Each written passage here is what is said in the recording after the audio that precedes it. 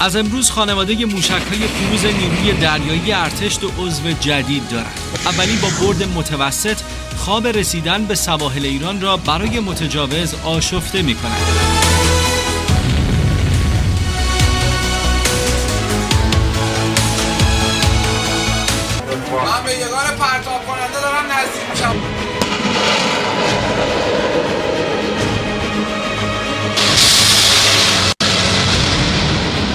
و دست بلند ایران در دریا.